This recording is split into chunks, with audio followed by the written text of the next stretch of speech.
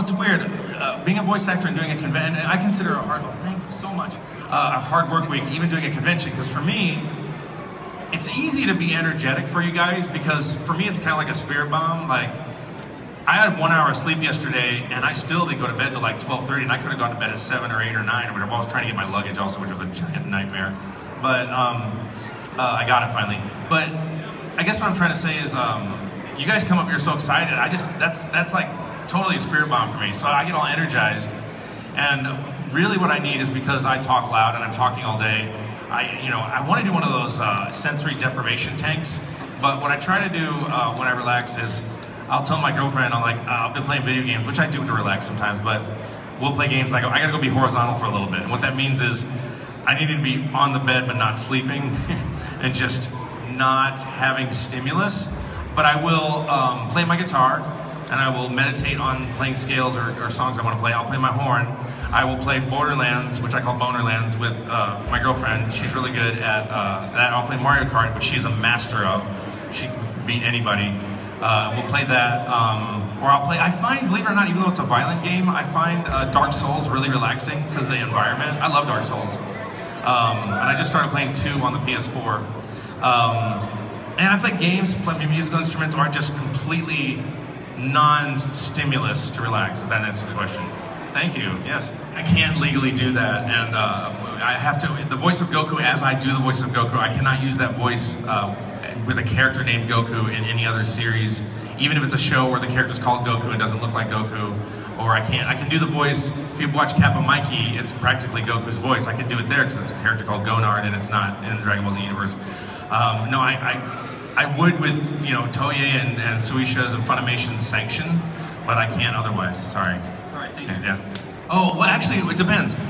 Um, when they do those little cut scenes like that, if they're cut exactly like they are in the previous episode in terms of flap mouth flap, they'll drag, they'll grab the audio and drop it in. But a lot of times they do weird edits, and they'll actually they'll have to reanimate some things that make you think that it's the same scene, but it's really not. It might be slightly longer or shorter, and we will have to re-record that a decent amount of time. Yeah, it's an interesting question. Yeah. yeah. Thank you. Thank you. Just mess around with the voices and call each other Kakarot. And... He well, Chris is Chris is a funny guy because the whole time we've been playing these characters, and and this happened the first time when we were having a celebration dinner after finishing Battle of Gods with Justin Cook who's the voice of Yusuke on Yu Yu Hakusho and our producer.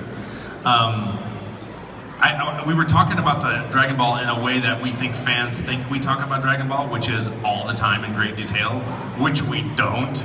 So at that dinner, I said, wow, we're doing that thing after 15 years that everyone thinks we do that we don't do. We're chuckling about that. But in recent months, Chris has gotten in the habit of texting me as Vegeta yeah, I showed that, and that's one of several texts he sends me. I'll get into a hotel, and he'll say, what floor are you on? I go, I'm on the 21st floor. And he goes, damn you, Kakarot, besting me again. I'm only on the 9th, 19th floor.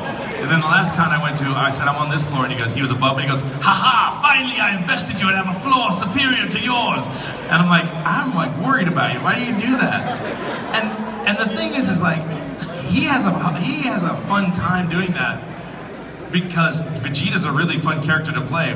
But for me, it's really hard to ad lib as Goku because he's always like manically happy or pissed off, and then he's always saying like not stupid things, but just like you know, be like walking around like this all the time, when the, which is not as fun as up yours. You know, that's fun.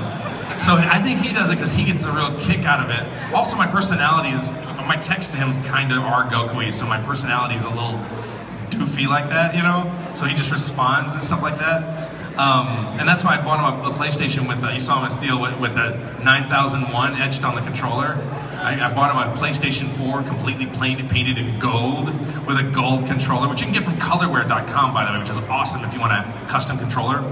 And, uh, and then I, I, sent him a note that says, Hey Vegeta, I found the Dragon Balls and, and, and wished you a, a gold, a sweet gold PS4, Goku. And he put it on his Instagram and he's like, I've got the console of legend or something like that. He did something like that. It was uh, he's really funny at ad libbing with that. So awesome. yeah. Also, uh, my favorite part from Battle of the Gods is when you imitate Vegeta. My Bulma. That was one take. I go. I just asked Chris before I did. I go, Hey, can I do my Vegeta impression for this line? He goes, Yeah, go ahead. And then so I thought it was funny. You were all like, my Bulma!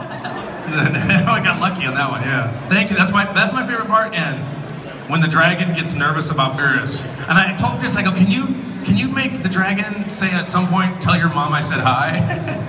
you know, oh, tell your mom I said hi. But he, they wouldn't fit and it wasn't in the script. So he's like, no, I can't do that. But Alright, thank you. And also, I think you can be wacky Mario Kart. Just uh man, hang on, I gotta just hang on, text her. No. She's Mario Kart the new one for Wii U?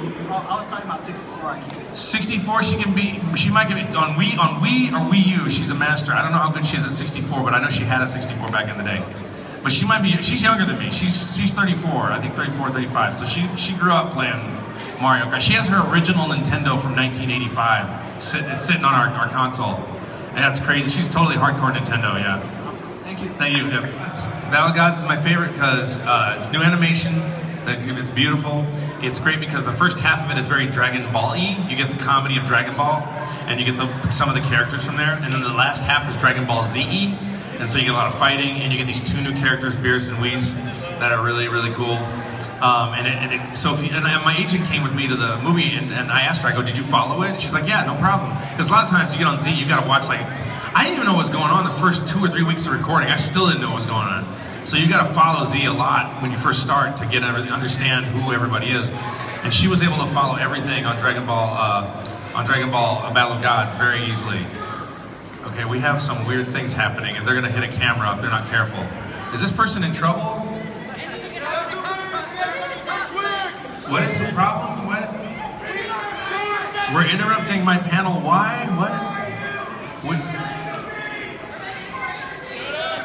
What, are they doing? I, I'm sorry I can't help you right now. Are you okay? Are you guys okay? Who is the cosplayer? Oh yeah, I can see now. Okay. Okay.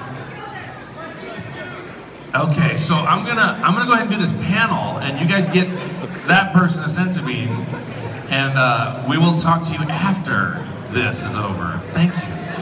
What's that? Four, 45 after or so, I guess. I don't know. I'll be over at my autograph table later. Thank you guys. Thank you. Okay. What? Find what? Zelda? I, you know, I, I think she's dead. Sorry. Yeah. um, so I like that movie. Sorry about the interruption. I like that in a, that movie uh, for that reason, and uh, I think uh, Resurrection of F's even better. Let's hope so. I mean, I'm sure the majority of us are anxious to see what's going on. Yeah. Yeah. I think it, I think it will be. I mean, I don't want to put my opinion on you, and if you don't like it, you know, I get it. But so I don't want to like. I'm not a big believer in hype, so I think it's awesome. And it did 26 million in Japan already, so it's that people are going to see it. So I'm very excited. Thank you, Sean. Thank you. Sorry about the interruption. Thank you. Yeah. He mentions who that is in Battle of Gods. I thought he refers to it at some point. Was it Frieza? Whis. Whis, right? Prince of Whis. Okay, and that's clear. So yeah, I guess it would be Whis. And for those of you who've seen Battle of Gods, well, has, has everybody seen Battle of Gods? Yeah. Okay. So you know that Whis is Beerus' teacher. Um, Thank yeah, thank you. Yeah, I do. yeah, I do. Uh, I'll play as Piccolo sometimes because I like Piccolo. I'm a big Piccolo fan, and I like. I wish there was like you could play Gregory, like little tiny Gregory versus Bubbles. You know, Bubbles, Gregory, Bubbles. I love Bubbles. Bubbles is one of my favorite characters. Chris Boy, Chris Sabat voices Bubbles. yeah, he does. Thank you. If I remember it, if I can do it, don't, don't, don't stop, don't stop. Wait, don't stop. I can't do it. We, we can't find paradise. That close enough? I don't know. That's all right. Soul, yeah, dragon soul. Yeah, I remember that. Thank you. My voice is killing me though. Thank you. Thank you. Love you. It better your life, I guess? Yeah, that's a, you know, I know I only got a couple minutes, so I might go over a bit, but that's a really good question because I had a very difficult childhood, as many of us do, um, and I won't go into detail on that, but needless to say, it caused me to have a lot of uh, issues that were psychological that uh, were preventing me from accessing what I believe was my full potential and talent as a human being.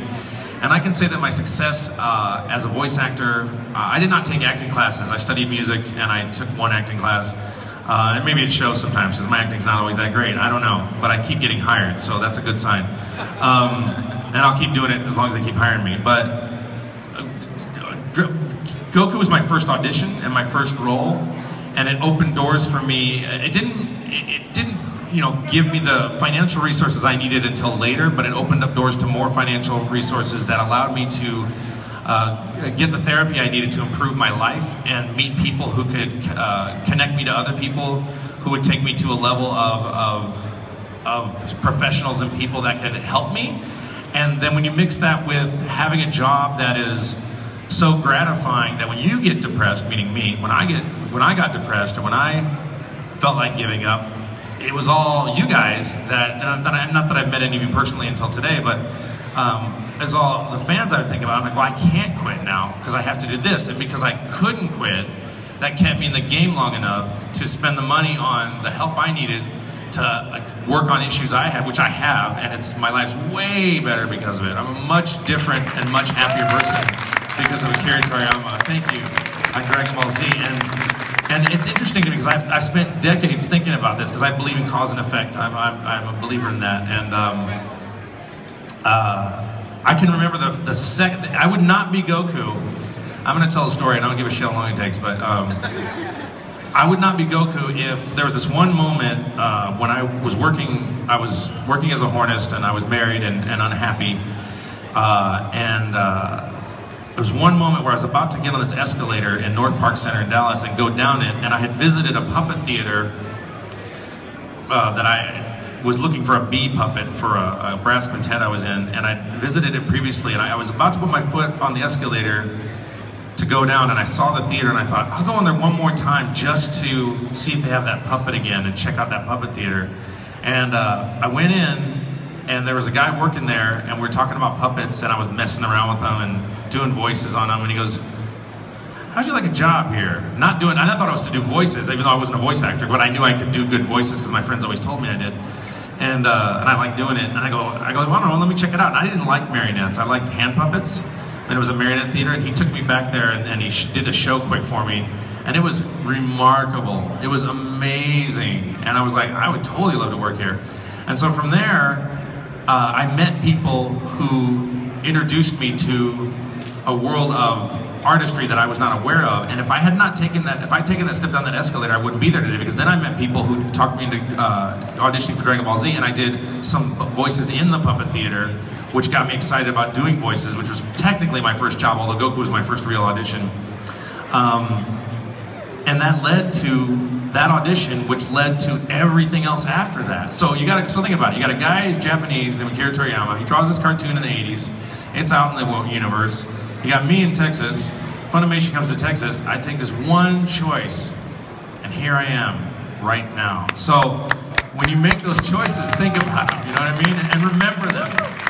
So you know, so because you never know where you, I wouldn't know any of you. I would not be here. I'd, I'd be dead probably. I don't know. It really saved my life. It really uh, got me to a place where I could get the help I needed and uh, meet and afford that help because I didn't have any insurance or anything. So I owe my life to Akira Toriyama and, and Dragon Ball Z, absolutely. So I can't quit, you know. I used to joke that if I finished Dragon Ball Z, I could die. I'd be like, okay, I, you know, everybody wants to leave a legacy, whether you're an author or a doctor or a mother or a father, any something that's permanent. And I don't have any kids, so I'm like, if I could just leave this legacy of Dragon Ball Z to my sister's kids or something, I can die. And when we finish up Z, I'm like, okay, so if I die now, it'd be cool. But then like, oh, uh, we're gonna do Dragon Ball Z Kai. Oh, I guess I can't die. Oh, okay, so we're gonna do, and it was all based on that. And now I just don't think about it anymore. I guess I'm not. I guess I'm doing this forever. I'm. Um, we got, and I thought I was done with Battle of Gods, and they, oh, we're gonna do a movie. Oh, okay, now we're gonna do Super. I'm like, oh, well, I guess I'm, I'm pretty much gonna be playing Goku the rest of my life, you know. So uh, that's not a bad way to have it. Yeah, neither am I, so thank you so much. I think I have to wrap up, right, George? Um, I'm going to be over at my table now until this place closes or beyond, so thank you. You guys have been incredible and warm and loving, and I'm very, very grateful. You guys, I, I do a lot of shows. You guys are hardcore fans. Trust, trust me. Thank you so much. I love you, McAllen. Thank you.